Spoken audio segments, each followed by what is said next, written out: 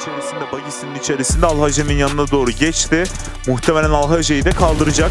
Hayır, Zvolf garantiye almış oldu. Alhace'nin garantisi alınmış oldu. Sven'in de epey bir canı indirildi. Sven Sven'in yok, kurtarılması çok zor. çok, çok Frozen. zor. Burada Frozen Ya, o otobüsün deneme- arkasına geçerse eğer Oo, Frozen! Frozen! her takım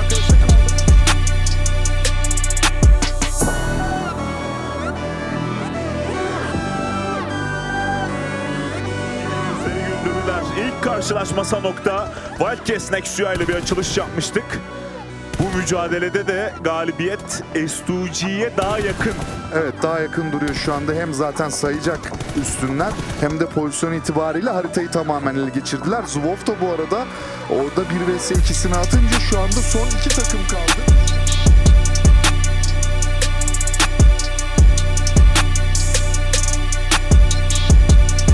Şimdi Frozen Swain dışarıdaymış canı azaltılmış. Frozen da evde tek başına bu bölgeyi tutmaya devam ediyor. Solus bir miktar hasar vermeyi başarmıştı. Bakalım kim kazanacak ama Frozen kazanmayı başarıyor bu savaşı. İki takım da birbirine çok fazla hasar verdi. Frozen tek başına kaldı. Fireflux iki oyuncu Catch ve Solkay'la artık yukarıya doğru oyunlarını tamamlamaya çalışacaklardı ama bu arada Frozen içeriye doğru girdi. Bir bomba gönderiyor. İnanılmaz. Yukarıdan aşağıya atladı.